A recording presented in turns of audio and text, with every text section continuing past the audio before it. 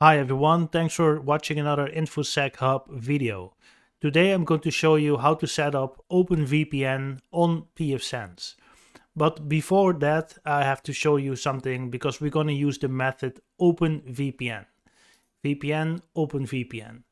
So what can you do with a VPN for instance? You can connect side to side. So your pfSense machine is a server and you can connect between servers. Uh, the pfSense machine uh, does the DHCP and all your uh, network clients are connected to it. Those network clients connect through pfSense uh, to the internet or through the VPN. So if you're sitting behind a Windows computer or a Mac computer, for instance, and you have a VPN tunnel on your pfSense machine, you might be able to grab some files from your brother, your mother, some other remote location over the internet in a fully encrypted tunnel. And that's also what VPN is used for. You can connect side to side, so from side A to side B on the pfSense machine. You can use VPN as a way to connect to uh, remote computers, remote access over the internet, and then VPN access the encrypting layer to encrypt all that data because the internet is in itself insecure. Also, for IoT communications, let's say for instance you have a security cam and it's a network cam. Um, you also want to make sure that the connection between that camera and the client or the server is encrypted. So nobody can hack into this um, image and, for instance, change the output. So you rob the bank and it still looks like nothing happens inside the bank. Just as a um, just as an example, what you sometimes see in the movies that they uh, switch the camera images uh, with a VPN, it will be much harder. VPN is an encryption layer. Uh, you encrypt your own um, data, virtual private network, over the internet. So that makes data transfers more secure. Uh, this is the website of OpenVPN, and there are many uh, options out there, but today we will look into OpenVPN. To make sure that we have the right set of encryption, we are going to use a certificate. A certificate can be used for websites to encrypt connections, but you can also use a certificate to encrypt, um, yeah, a VPN basically to make it secure. Uh, so we first need to set up a certificate authority, and we go to System, we go to Certificate Manager, and here you see there's nothing in it yet because I just set up the system certificate authorities, we go to add. Um, we can give this any kind of name that we want. Um, let's just call it pfSense uh, root certificate authority. We can create an internal certificate authority. So this is kind of a self-signed um, certificate import an existing. You can also buy a certificate uh, or, or, create an intermediate certificate authority. You can also buy certificates, but if you create one internally, then this machine will create it itself, a self-signed certificate, uh, so to speak. Um, so add the certificate authority to the operating system trust store. So you can do that so you will not have those pop-ups again that uh, the browser doesn't uh, really um, recognize this as a valid certificate because it's self-signed. You can do that. But the most, uh, the things that are like the most important are here. So what kind of key type you want to use, RSA or another one? The, um, the key length uh, this is fine, but you can make it you can make it as, as high as possible up, until the highest standards. But you have to understand this will slow down your connection because there's a lot of encrypting and decrypting going on. Uh, just for the sake of this tutorial, we'll keep it at the, at, uh, at this rate. Uh, the algorithm SHA, this is kind of standard right now in 2021. But if you really want to make sure that uh, it stays secure and it gets more and more difficult to to hack you you go the higher the better. But performance can be an issue so we also gonna set it at the 256 um okay then the lifetime of days when the certificate uh, is valid. We can set it here in days. The common name is an internal certificate. You can add country code, uh, stuff. You need to fill it all in. You can, I think it's NL for the Netherlands state. You can all fill it in just like a normal certificate. Yeah, I will, I will just make up something. Um, organization, organizational unit, IT, and you save it. So now you created a certificate authority. That's step one, and it's a self-signed certificate. Um, you can do that. This again is not provided by any uh, certificate authority uh, that's out there, like a VeriSign or all the uh, like certificate. I, I will show you just a second. Certificate authority. Um, SSL.com, for instance. So what's a certificate authority? It's really you you buy one and that's internationally recognized because if you use a self cert um, maybe no I already have a tab open. Anyway, what I want to get at is here you see the connection is not secure. It is, because inside of pfSense uh, here it is an HTTPS connection, which is a secure connection, which means there's already a certificate assigned to this URL. But this is a self-signed uh, certificate, so the browser doesn't recognize it as a secure connection. It is, but it's not recognized because it's not a real uh, certificate authority, if that makes any sense. If you go to, for instance, here in the, in the Netherlands, you go to KPN, you can buy a, a SSL certificate uh, to uh, encrypt HTTP traffic. Then it, it adds an S and you have a certificate here. Let's see what, what more can we show you. No. That's it. Okay, so without further ado, let's just continue.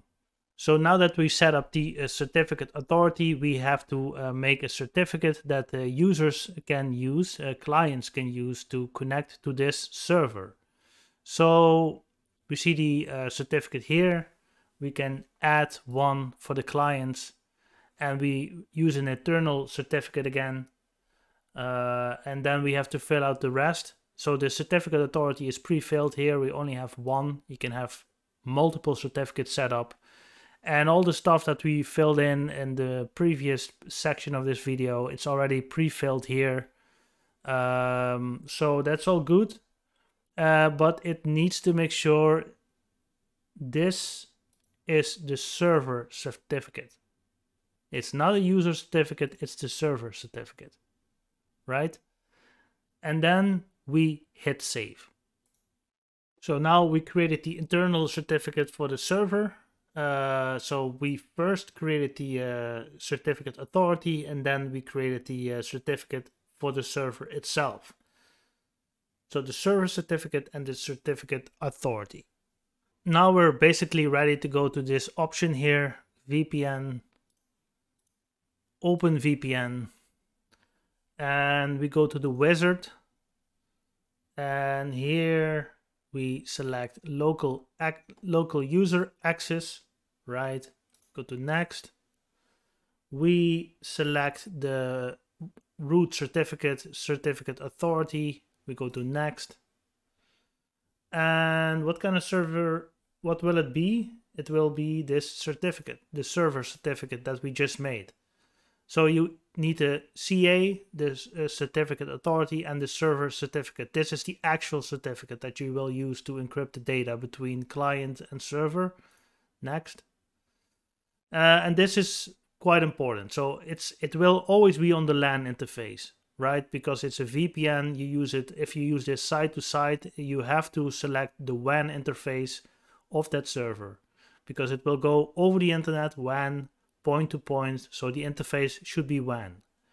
Protocols that can be used inside the tunnel are UDP. Um, this is for streaming when you stream videos or Uh, over the VPN, I must say. UDP should be enabled, otherwise it will not work. It will not work. If you, for instance, open a 4K video on the server on the other side of the tunnel, you shouldn't select IPv4 only because it will not work. UDP. So you will miss certain parts sometimes when the connection is too heavy, when the load is too heavy, I should say. So the protocol UDP and IPv4 only. There are other options if you already implemented version 6 of IP, for instance, but keep it on default. Most uh, home users and even most offices only uh, went as far to implement IPv4 correctly. All right, the local port, it really depends on what you want to use. This is the default port. I would never suggest to use anything default because it's easier for hackers to, if they see your uh, use OpenVPN, for instance, uh, to uh, start sniffing at this port and poke around. So I would always suggest you uh, switch it to something else. Uh, the description, it's, um, let's say, for instance, remote users. Just act like this server will be used to uh, access a, yeah, a server on the on the local area network, for instance. Okay, so that's that. Uh, TLS authentication, TLS keys, if you have a shared key. Uh, let's see, authorization should be authorization digest algorithm SHA-256. Yes. What else we should put in here? Oh yeah, the tunnel settings. Local network is important. This is the network that will be accessible from the remote access point, right? This may be left blank if not adding a route to the local network through this tunnel of the remote machine, but this is generally set to the LAN network. Generally set to the LAN network. So here you find, here you put in the IP address or the IP, IP range. So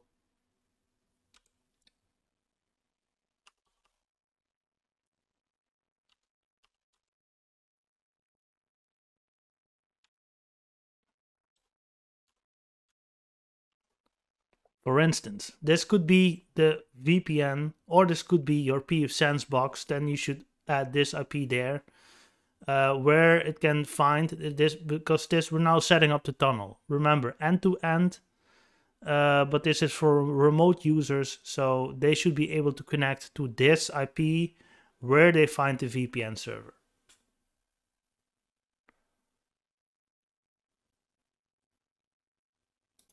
Force all client generated traffic to the tunnel. So all the clients are forced to use this tunnel, this VPN tunnel, right?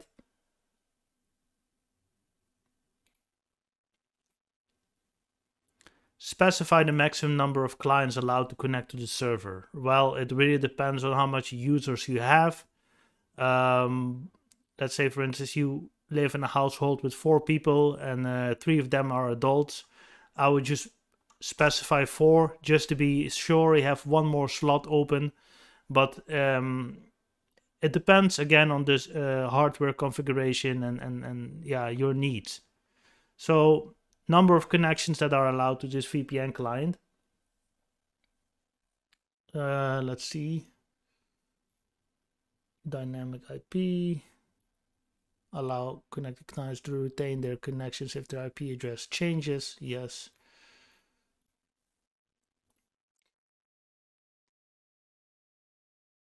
So we also want to make sure that the firewall uh, rules apply to this VPN connection. So we make sure that the firewall rule here is ticked and the OpenVPN rule is ticked. Add a rule to permit connections to this VPN server process from clients anywhere on the internet. Yes. Okay. Add a rule to allow all traffic from connected clients to pass inside the v VPN tunnel. Both should be checked. Next. We finished. The configuration is now complete. To be able to export client configurations, go to System Package, install OpenVPN Client Export Package. Okay, thanks for noticing. Uh, client is server wizards, local user access. See if we can still go through there. Next. Search certificate. Everything is filled in. So I'll go over it a little bit. WAN protocols, local port, the description for remote users, data encryption negotiation, the tunnel network. So I was messing with the settings a little bit earlier, but this is the tunnel network. This is the local network because this is between two networks, number of connections, dynamic IP. Next. So now that everything is done, uh, now we have to configure the OpenVPN client for access on this pfSense uh, machine. Uh, so we go here to clients and we add OpenVPN clients. So let's see, uh, we're gonna be in peer-to-peer -peer mode, UDP, this IP address, layer 4, uh, layer 3 tunnel mode, on the interface WAN, um, and here we have to add the server IP on this server port. And what else is here? The port proxy, proxy port is not the description. Um, yeah, just VPN client. All right. Okay, username this is a user authentication. Well, username could be VPN, for instance. And a password. Use security. This is from the browser. Okay. so this is how a client can connect with the username and password. Use the TLS key and automatically generate a TLS key uh, from uh, no. Yes this one this one. The pfSense root certificate authority. All right? We will continue don't mention don't check this out keep it at sha 256 mm, let's see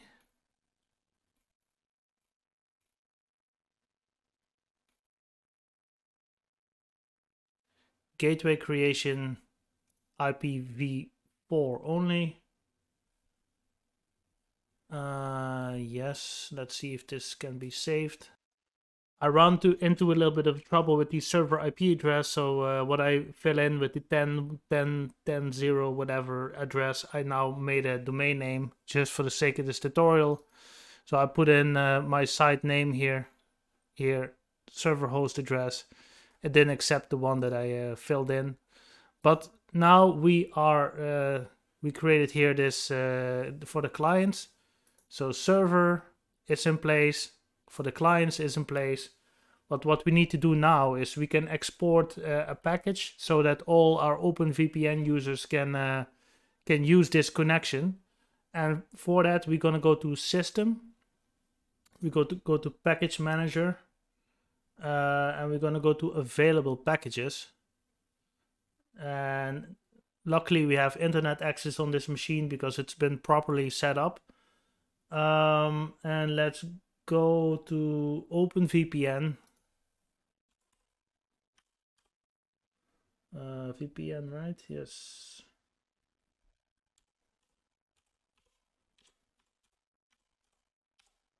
search so we're going to install this package. We're going to confirm it.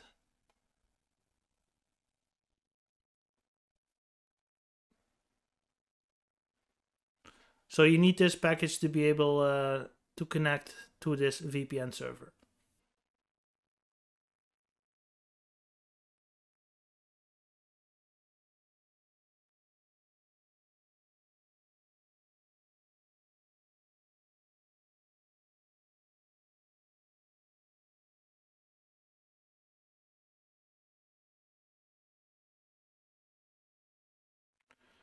So this OpenVPN client package is now installed and the only thing left to do is add the VPN user. And to do that, we go to the uh, Systems tab here and we have here User Manager. Uh, and we have to add a VPN client uh, with users. So admin, I'm the system administrator, but we should be able that other users can connect to this machine remotely.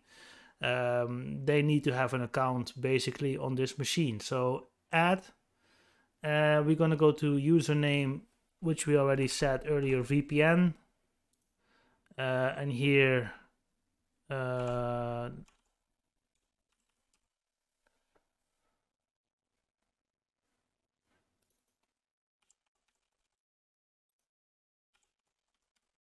All right.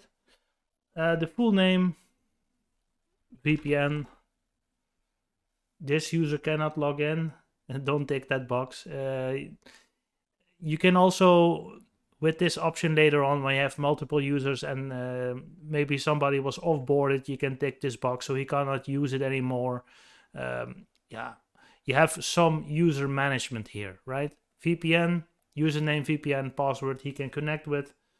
Um, this is all fine. Click to create a user certificate. All right. Um, descriptive name, VPN, name of the user, certificate, right? We're going to use our own root certificate authority.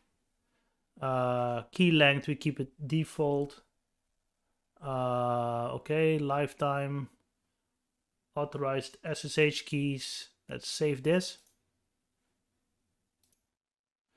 And now if uh, the user sets up an OpenVPN client on a system, uh, he's provided with the credentials VPN and his um, password, he can connect to this device. And this device is the pfSense machine, this is the router, uh, slash firewall slash VPN uh, gateway. Um, and you can set up a VPN connection to this machine.